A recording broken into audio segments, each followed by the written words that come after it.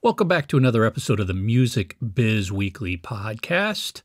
This is your host, Michael Brandvold. I'm flying solo today as Jay is slammed with some clients today.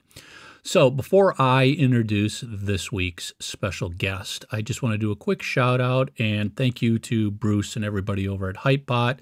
Thank you, Bandsintown. Everything you do to support and promote the Music Biz Weekly podcast is greatly appreciated and of course to discmakers.com. Thank you for your continued sponsorship. We know it's a digital world, but there's still an important role for physical media for today's independent musician. Digital royalty payments are so small that selling products like CD, vinyl, t shirts at gigs when they return and your online store has become an important income generator. For every CD you sell at a gig, you'd need roughly 3,000 streams to make the same amount of money, and that's a lot of streams. Our friends at Disc Makers are the place to go for your discs and other physical media, including vinyl, USB drives, and even t shirts. So we put together a cool little offer for all of the Music Biz Weekly podcast listeners out there. Head over to discmakers.com, place an order for 100 or more CDs and when you check out in the promo code field, enter free biz, F R E E B I Z, free biz, and you'll save up to $150 in shipping costs. So head over to discmakers.com, 100 or more CDs, promo code FREEBIZ, and save yourself some money. So this week, I have a great special guest and a great conversation this week. And it's all about music business education, colleges, universities, music business programs. We are joined by Susan Dodes from NYU, and she's going to talk to us all about what to look for in programs, what what's important, what's needed for applications, talks about the staff, the professors, everything, internships. This is a great listen if you're somebody who wants to get into the music business. So let it roll. Susan Dodes. There we go. Okay. Um, so we're just going to get into our conversation here, and then when we're done, I'll record my opening and intro and stuff like that. So, everybody out there in Music Biz Weekly podcast world, listeners and watchers all over the world, I want to welcome Susan Dodes to the show this week. And Susan, you can probably do yourself more justice than if I just read verbatim your little bio here. Why don't you give us a little background first on, on what you've done? Okay, so uh, I'm a longtime music business executive on the talent side. Started my career as a music publisher um, at Chappell Music and Warner Chappell uh, then went on to be a senior A&R executive at both MCA Universal and Sony Music. Uh, and then ha- uh, I've had my own company for quite a long time, specializing in A&R, A&R consulting, but also mostly managing producers and engineers. So my producers produce Bon Jovi, Sting, Chris Botti. My engineers worked with Christine, Christine Aguilera, all, all across the musical spectrum. Um, and for the last 10 years, in, in addition to all my music business work, um, I have um, sort of segued into academia. And now I'm a professor of music business studies at NYU Steinhardt School in New York City. So, and, and, and that's sort of going to be the segue into what we're going to discuss today, because when you reached out to us, um, and I'll just kind of paraphrase what you said, but you go, I've noticed that more and more frequently I'm contacted by young people and parents from all parts of the country, even overseas, to explain and discuss the various music business and music tech degree programs that are now being offered by big and small colleges and universities around the country. What do they teach? How are they relevant? Are they necessary for young people who wish to work in the music industry or in the recording and engineering side of the business and a myriad of other important sometimes amusing questions. And that's a that's something Jay and I, which I apologize, Jay is is not going to be with us today because he's just slammed with some of his clients. this is something we we always have felt strongly about is you know and and I, and I don't want people to take this the wrong way but this business can be filled with a bunch of scam artists very true. Um, it's very easy to build a website that looks nice and you throw a bunch of logos up there you throw a bunch of names up there and you look like you're important. Right. And there's nobody that's vetted that out. So how how how to you how do you vet out these programs? How do you decide is this legit? What are some of the things you can look for to determine if this is real or if this is going to be something where in three months i'm out $10000 and gain nothing? Well you know i, I come to this primarily from the um, you know not, not for profit public and private universities, the, the, um, you know, the world of uh, recognized universities across the United States. However, I'm well aware that there are many quote unquote schools that offer degrees that are for profit schools. And right. the first thing I would say, absolutely, um, is to determine, first of all, have you ever heard of this university? And second of all, is it for profit or not for profit? Um, I mean, there's definitely a difference between the University of Southern California and you know some of these for profits, the Detroit Institute of uh, Music, DIME, I think it's called. You know, these are for profits. They're they're different, and they do different things. And the other thing you have to look at is what degree are they offering? Are they offering a four-year bachelor's degree? Are they offering some kind of diploma? You, you really have to be able to figure out, you know, what is the school attempting to offer you? Um, and and I think that that's the first step because based on what they're offering is going to determine whether it's the right fit for a particular person or not. But again i you know i come from I, am now sort of what they call a practitioner academic. All my years in the music business i have a master's degree from columbia university. You know i'm i'm working at a level where you know yes i'm teaching in a music business studies program but but we're a four year you know uh, bachelor's degree program at a major university, in NYU. That, that brings other elements into the program and the process. It's much different than a school that's offering you two years of, you know, how to be in the music business, two completely different experiences. Yeah, you know, and, and, and because I, I do so much in, in social media and online marketing, it, it brings to mind, I see these, these programs that offer you a degree in social media to make you a social media and and and, and I can see through it because listen, that's not a bachelor's degree. That's not even a liberal arts degree. That's exactly. that's a made up diploma exactly. that the school is giving you to say congratulations you completed your course. Right. It's not a, a legitimate credential, I guess is what I would say. Well, exactly. I mean, again, I would say the most important thing is to decide what are you trying to do? Are you trying to get a college education? Or are you trying to get some sort of certification that you know how to do something?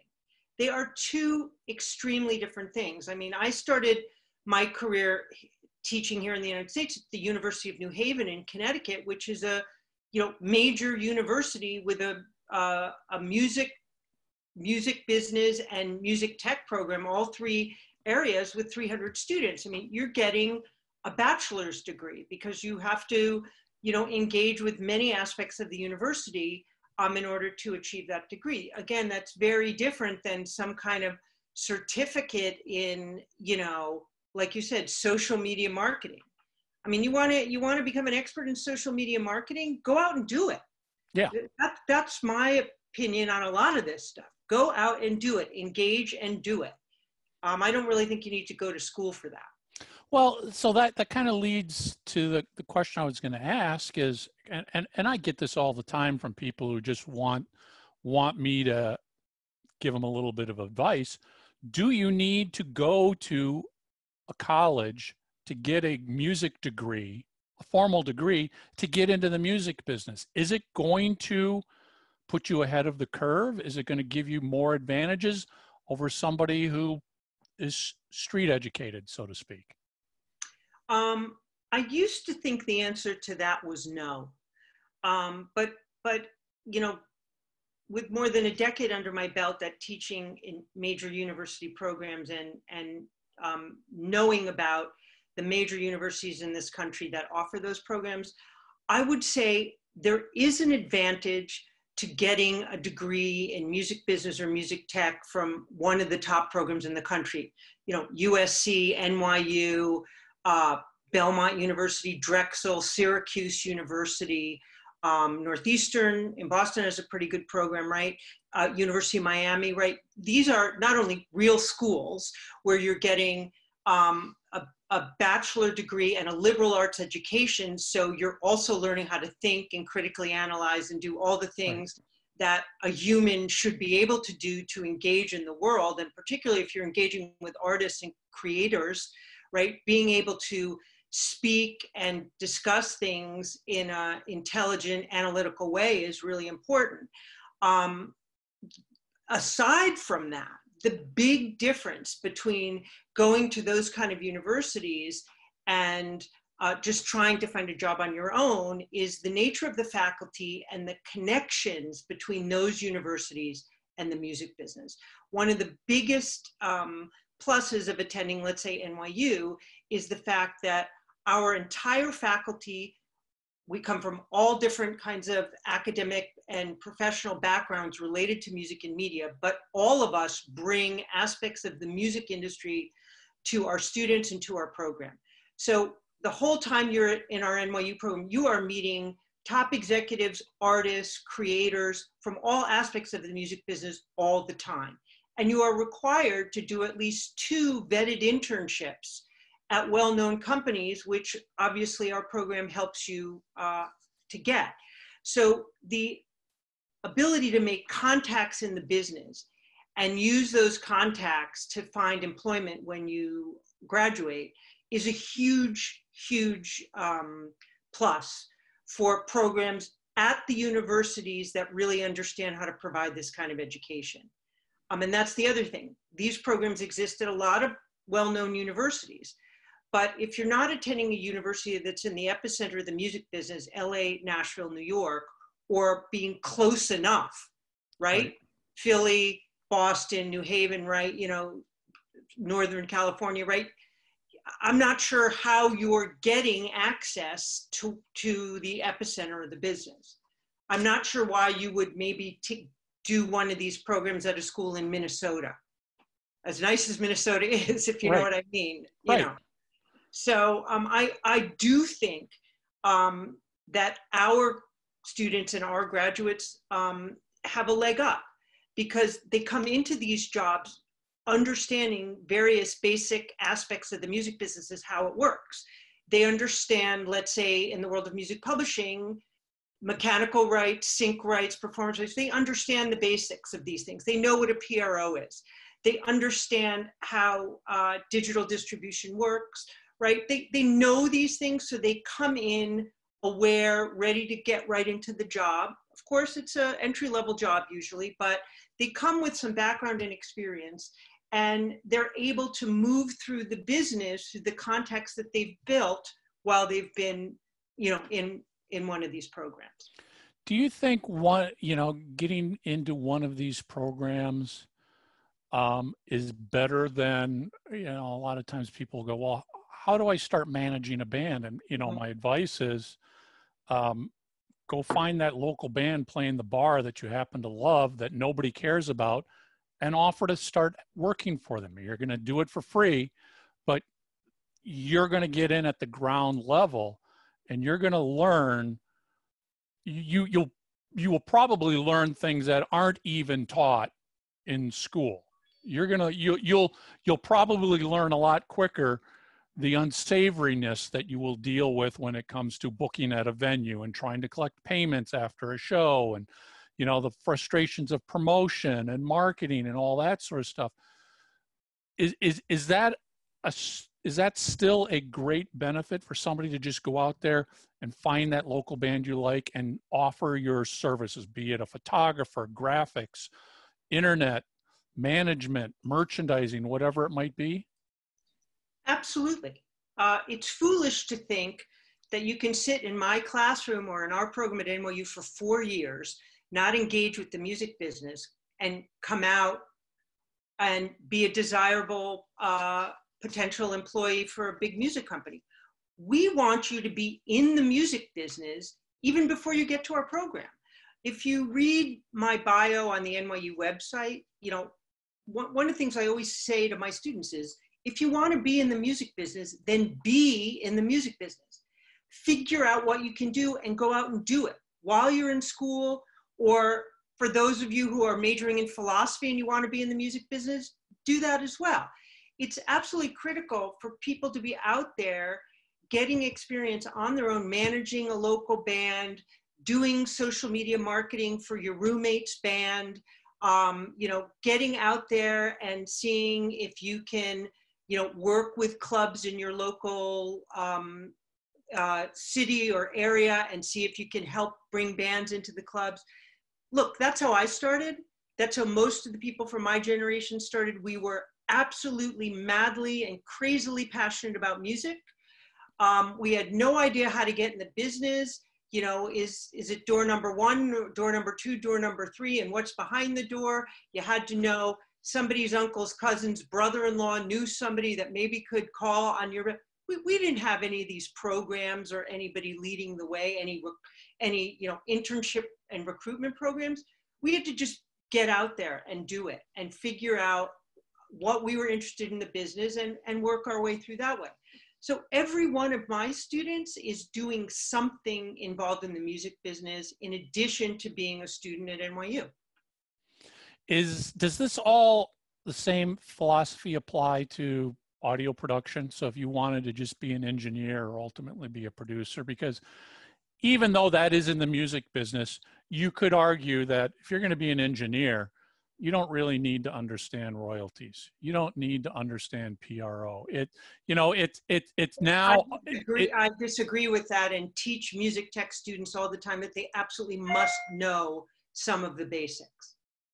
They must know some of the basics. Because think of it this way, Mike. In today's world of creation, particularly in hip hop and pop, right? There's anywhere between five and 10 different writers sure. yep. on a track, right? So what are they doing? Some of them are creating beats, some of them are creating loops, right? So that could be the engineer producer who's just sitting there during a session and comes up with something. And the artist says, that's great, just add that onto the track. Next thing you know, the engineer is now a writer what does that mean for the engineer? The engineer now has a piece of that copyright.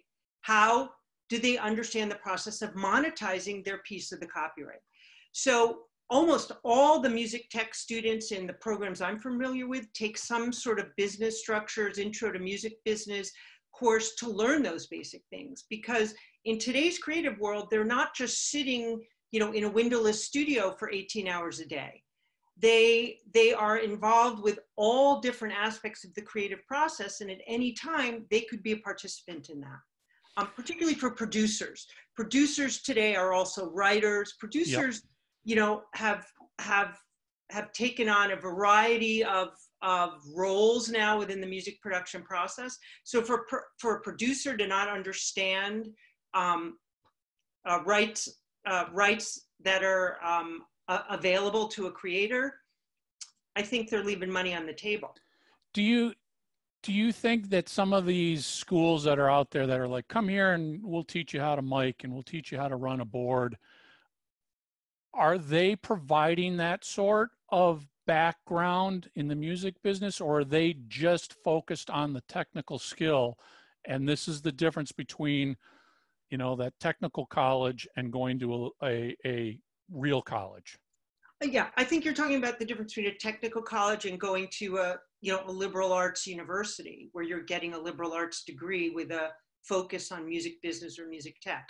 Um, listen, you know these technical schools prepare you for a very specific job, and if your job is you want to be an audio engineer and you learn the basics of audio engineering at a technical school, yeah, great. You know you could become, you know, the next major, you know, engineer producer.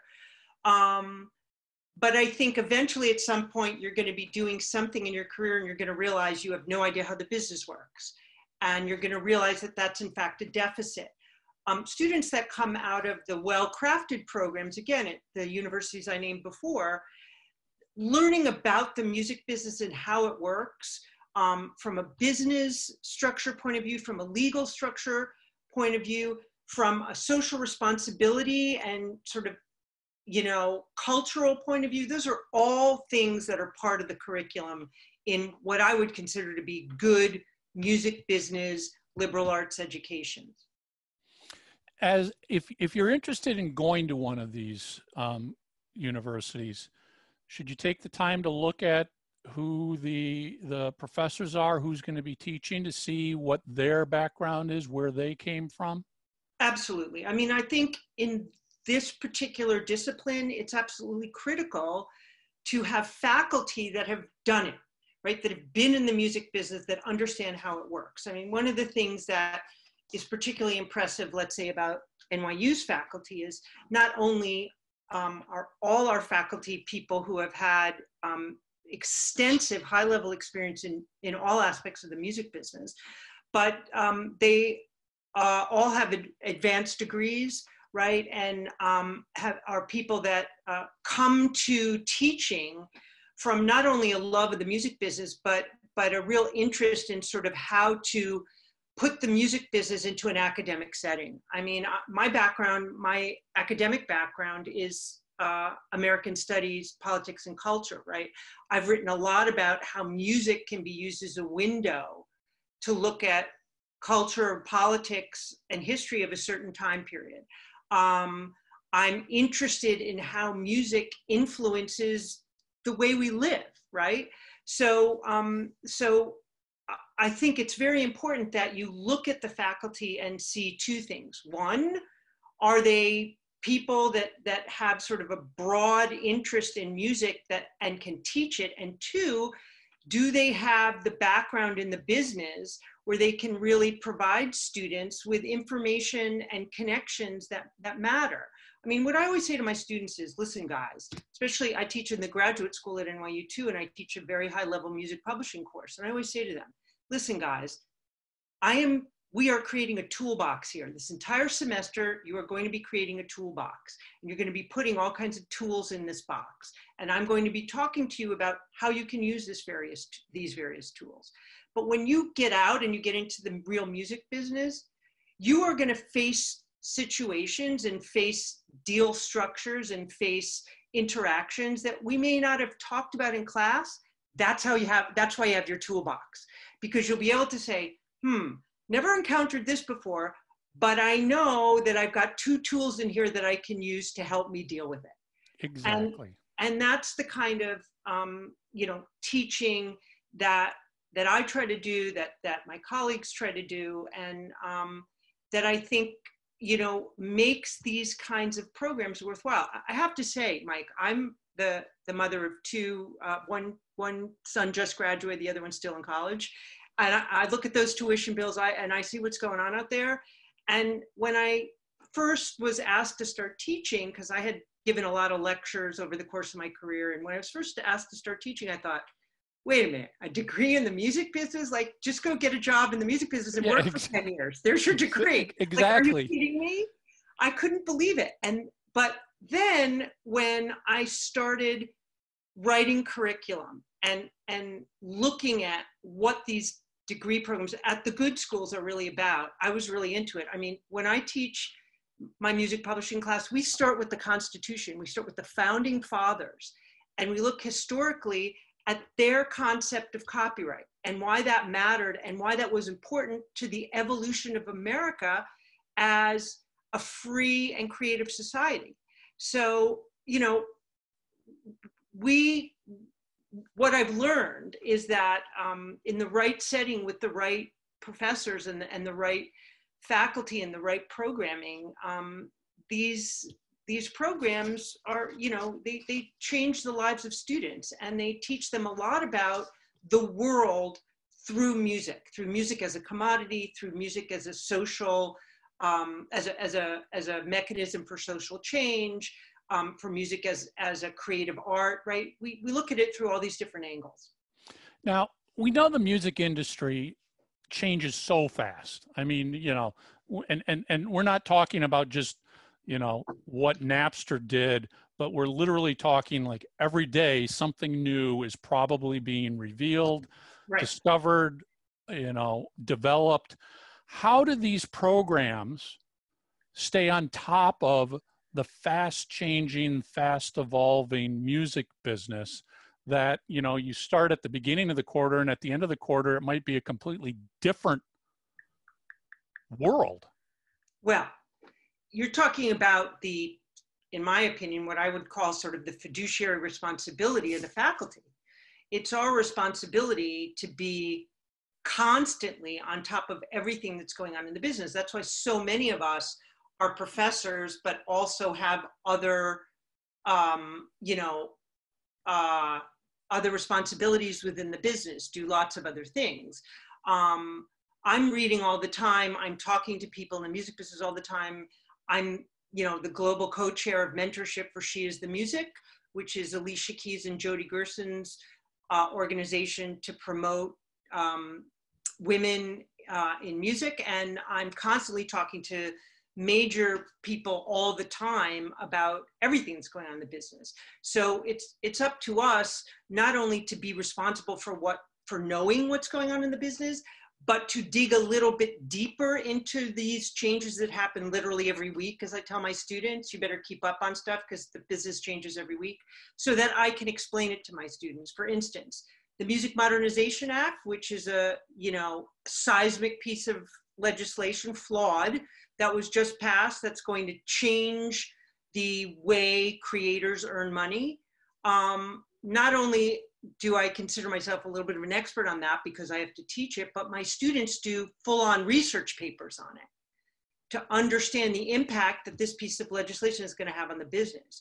Um, I am constantly making sure I know what I'm talking about because let me tell you, these students, they are on top of it, and you don't want to be the person that gets a question that you cannot answer. And if you do get that question that you can't answer, you know, I'll say, you know what? I don't know the answer to that. Let me check. I'll get back to you. But you have got the good faculty is on top of their game all the time. And, and we're writing about it. I mean, that's part of our responsibility as professors is to look at things in our area of study and our discipline and, you know, dissect it and write about it. Do these courses create a fictitious band that as a class you develop and try and get signed and go, you know, to learn the ropes of all of it. Because, you know, one of the things I'm always telling artists that I work with is, you know, you think it's just a matter of recording an album and distributing it, but I can guarantee you every single release, there's going to be an unknown out there. You just don't know what that unknown is. Right. And it's experience that will allow you to react quickly and like you said go to your toolbox and go okay the the the instant grat track didn't go live when it was supposed to. How do i remedy this? What does that mean to my entire marketing rollout? That's stuff you get from experience. Do you build these sample you know projects in these courses? Sure. I mean professors have all different kinds of projects all the time. You know if you're in a marketing course or you're in a um, we have a, a, a course called international music marketplace where students look at the international music marketplace, figure out how various markets work, what to do in those markets. Yeah, there we, we do this all the time. Touring and concert promotion, they're they're crafting, you know, fake tours. I hate to use that fake fake word because right. it's like fake news, but um, not a fan, I have to say. But um, you know, they, they create we create all kinds of things. For instance, in my music publishing course, um, we look at sync, obviously one of the biggest um, income streams for, for songwriters today. And what my students do is they do a project where they take an existing sync, one that exists already. They investigate every aspect of it, how the deal was made, blah, blah, blah, blah, blah, everything. They know everything about it, what they can. And then what they do is they look at it creatively and see if they could have used another song copyright and swap it in to that existing visual. And how would that work? And how would they do that? And, and how would they explain that? So we, we do this stuff all the time. This is these courses and these programs, if they're done right, are all based on what's happening currently in the 21st century music industry. Of course, we do a lot of um, of looking at the history of the music business, the recorded music business from various angles, because if you don't know what happened before, you may not be ready for what's happening, um, you know, in the future. And and we look at aspects of the traditional business that we still use that are still important. Um, and we we talk about um, you know uh, we, we, talk about things that um, that have helped uh, define the business and the changes in the business over the last 70 years of the music business. And the number one thing that drives the music business is technology, changes in technology. So we talk a lot about keeping your eye on technology and understanding not only how those changes have changed the business, but how the business has reacted to those changes. And sometimes the business didn't react appropriately or in time. You and I both know this. Yep.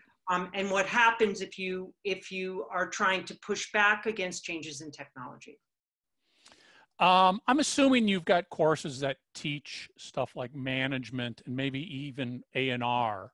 Yep. Um, th- th- those are two areas in the music business that obviously have a lot of educated skills behind them. You've got to know the business, but there are also two parts where it's, you know, there's the old running joke if you're going to be a manager, you're going to be the band's mother as well. Um, how do you teach that sort of stuff? The, the, the, the psychology, the personal engagement to, you know, as an A&R rep, how do you how do you learn that you need to go in and suggest to your artist that that lead guitar player isn't going to cut it in your band and they need to be removed that's not a book skill that's a exactly personality skill you know look it it's it's hard to teach that. I mean it you, look we all know that people are successful in our business because of who they are innately as people right? How are they able to communicate? How are they able to assess a situation and then determine what the best uh, route to take is?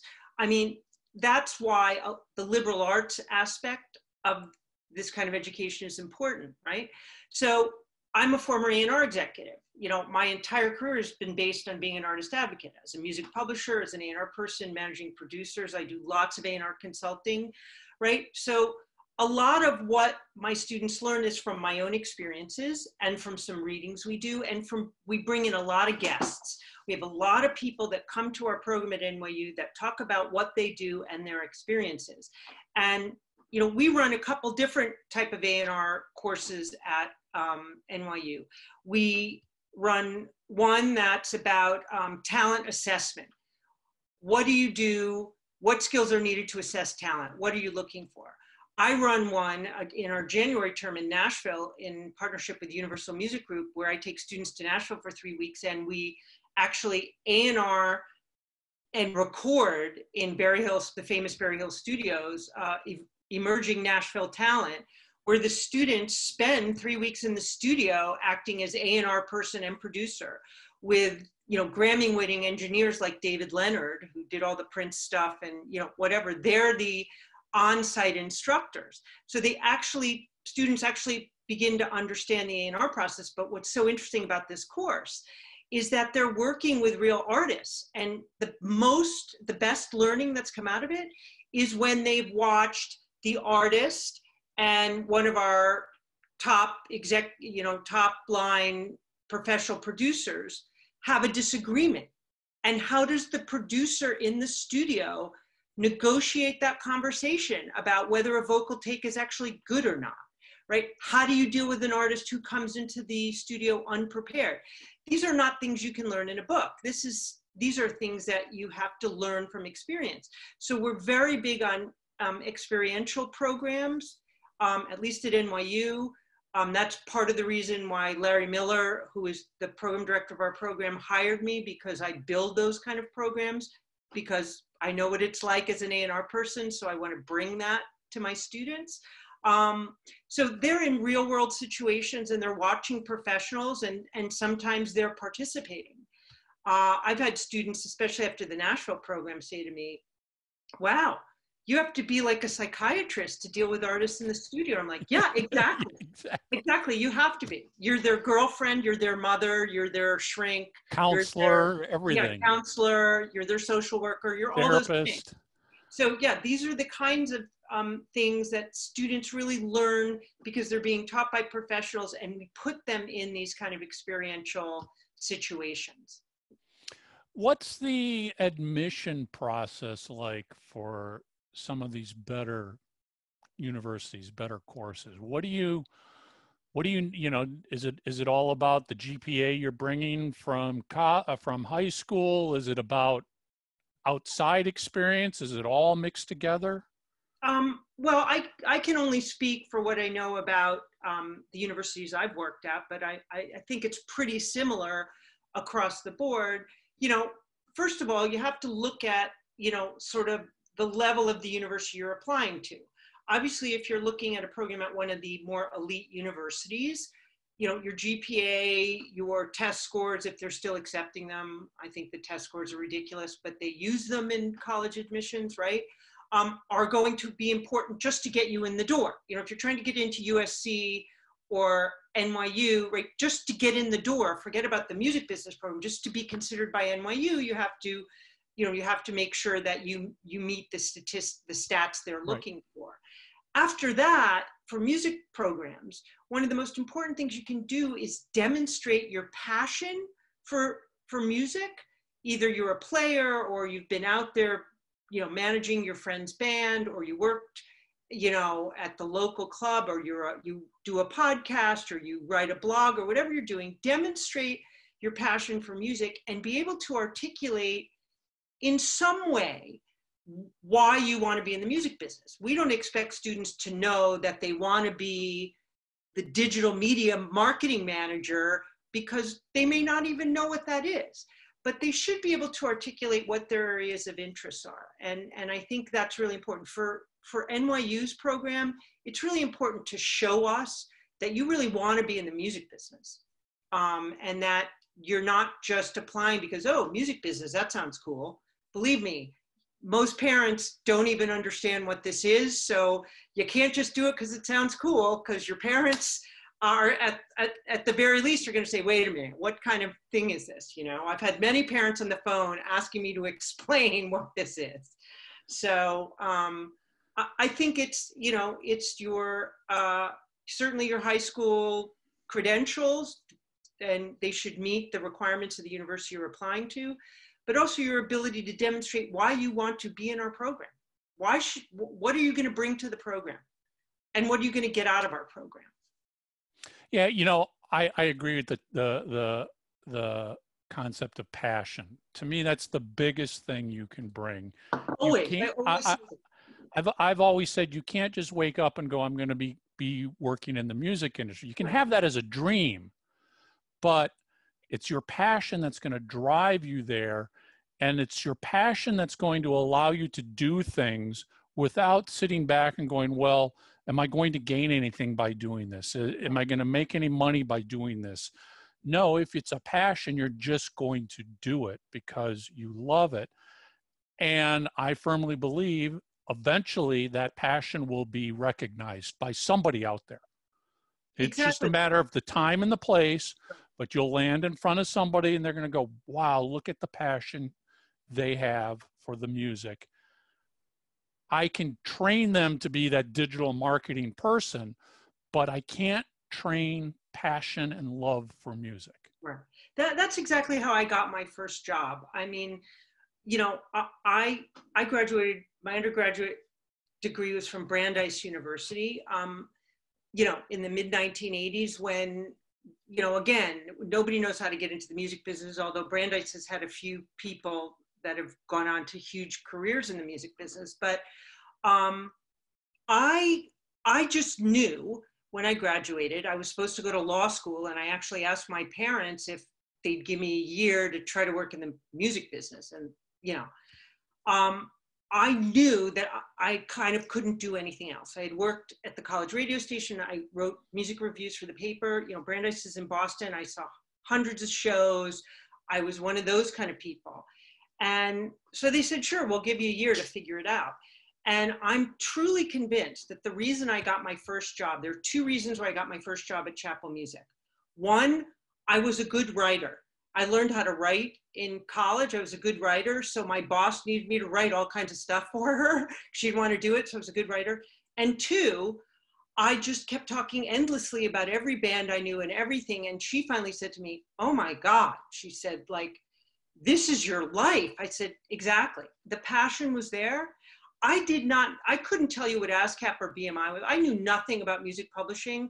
As a matter of fact, I felt kind of disappointed that I didn't take the job that I was offered at Chrysalis Records at the time, because Chrysalis just seemed much cooler. It was a record company, I understood that.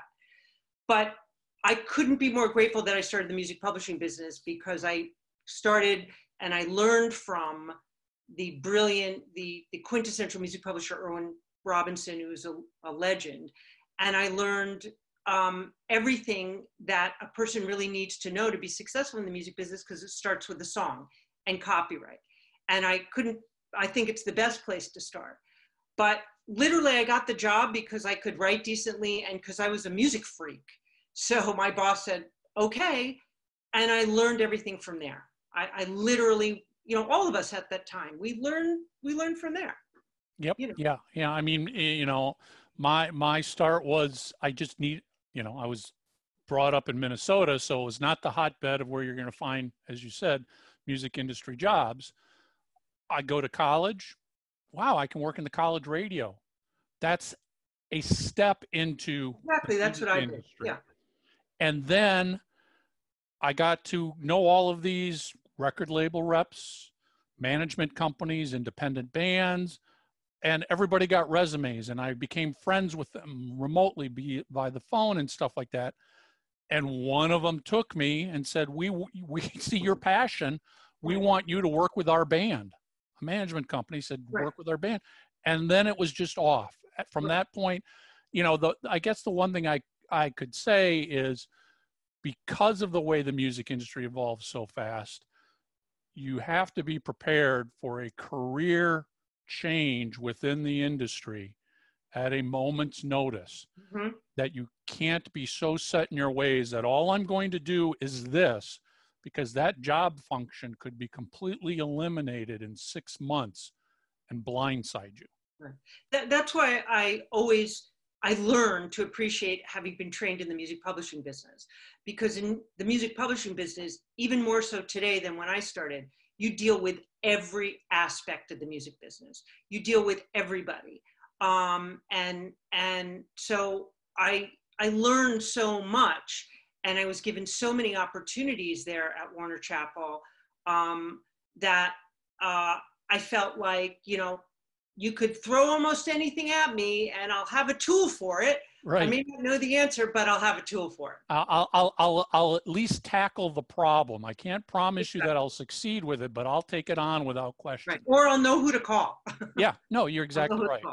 right. Um, Susan, this has been fascinating. And, and, and honestly, I sit back and go, man, I wish all of this existed when I was in college in the 80s. It was like, it would be so much easier to just go to oh, sure. a music sure. program um, where can our listeners um, reach out to you to get more information if they've got questions? Um, the best place for them to find me would probably be at NYU. Um, my email at NYU is S for Susan, L for Lee, D for Dodes, the number 10 at nyu.edu. Uh, and I will, you know, point people in the right direction um, if they have any questions. And I urge you know, people who are interested in um, a music business, uh, university education, to really look around at, at all the programs, all the different universities that offer these programs, and you know figure out if if one of these programs speaks to them. Because um, there's a lot of good ones. You know nyu is great but there there there, there are a lot of good ones and there are many not so good ones. Oh you you're 100% right. I mean you know as surprised as it is the college i graduated in southern minnesota has had a music business program for the last few years now i would have i would have been over the top in excitement if they had that when I was there. Sure, exactly. Um, do you speak at it? They should have you there. Uh, I I have oh you know right before the virus hit, I was doing a lot of uh, um, Zoom and Skype guest lecturing to the students. Right. Um, which is great. Which was great because it was my it's my you know it's my old university. I right. got a little little love for it, but um, yeah, it's the, the programs are out there. They're really starting to pop up more and more places. Right. But I think to how this whole thing started, you've got to do some homework to make sure you're getting into a Absolutely. legit program and not just somebody who's looking to make some money off of you for the quarter. Exactly. And and remember, you know, I think the most successful people in the music business are people who come from different backgrounds, who can talk about different things, which is why a liberal arts education, I think, is so integral to being successful in the music business. I mean, after all, you're dealing with an art form, you're dealing with creators who are expressing, you know, a, personal experience or a global experience, right? So to be able to relate to that, that requires, you know, having to have having to have had some sort of, you know, experience with reading novels and reading books and yep. knowing history and understanding art and you know geography and and all the things that we learn you know different languages in a liberal arts education and i think um, you know the, the best programs from my perspective are the ones that bring that liberal arts piece into the music industry uh, education and courses that you're taking. And um, you know i think nyu does it well and there are others that also do it well.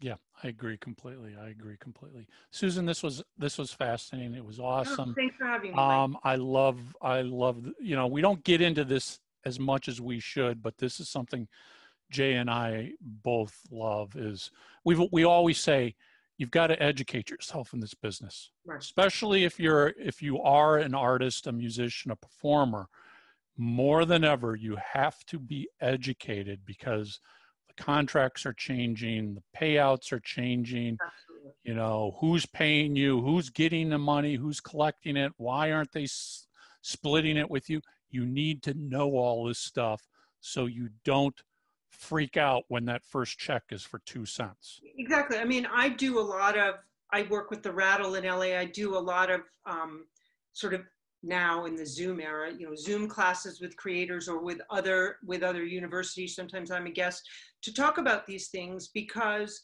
you you can't survive in the business unless you know how it works. And um, you know, so many people just jump in and have no idea sort of how any how anything works. And you know, this is why I love your your guys' podcast because you have several episodes that speak directly to specific areas that I want my students to understand. Like I said, I can teach this to them in the classroom, but then when they hear from an expert on your podcast, it you know it just emphasizes and reinforces the stuff we're talking about in the classroom. Yep. Um, so you know, I'm a big fan of what you guys thank do, you. and I appreciate it, and I and I thank you, and my students thank you. Thank you. Um, they're all so fans much. now. So um, I'm, I'm just, it's been great that you, they asked me to come on and chat for a little while. Awesome, Susan. This was, this was, this was great. Okay. Thanks, Mike. Um, Thank you. I guess you'll be in touch and let me know when or if you're airing this. Discmakers.com. Use code FREEBIZ for ground shipping on CD orders of 100 units or more, $150 value. Love that conversation with Susan. So much great information. Man, you know, when I was back in college and wanted to break into the music business, I sure wish there was a lot of these programs back then. So if this is something that's interesting to you, that you want to get into the music business, check out everything that Susan's been talking about. Reach out, ask her some questions. Um, it's I think it'll be well worth your time. So, as a quick mention just thank you to all of our sponsors and supporters hypebot.com bandsintown.com discmakers.com thank you for everything you do to continue to support the music biz weekly podcast and of course if you're watching us on youtube hit that little red subscribe button if you're listening on spotify follow us and if you're listening on itunes make sure you subscribe leave a review and a rating you don't want to miss another episode of the Music Biz Weekly podcast. Jay will be back with us next week. That's it. Take care, everyone.